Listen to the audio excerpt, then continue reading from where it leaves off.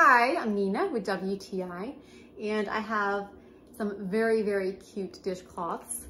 Um, I love these because they feel almost like it halfway between a dishcloth and halfway between a sponge. So it's not, um, it's not totally like a rough cotton. It's, it's definitely more like a very, very thin sponge material. One side you do have more, um, you've got some bumps there. That's gonna help you maybe clean the dishes. And then on this side, it's much smaller bumps. So it, they clean the dishes really well. I also use them to wipe off the counters.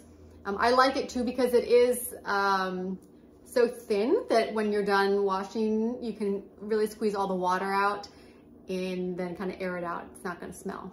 So I love it. The pack comes with so many cute ones. So I'll show you every single one I love. I think they're all so cute. So I'm super happy with these and that is my point of view.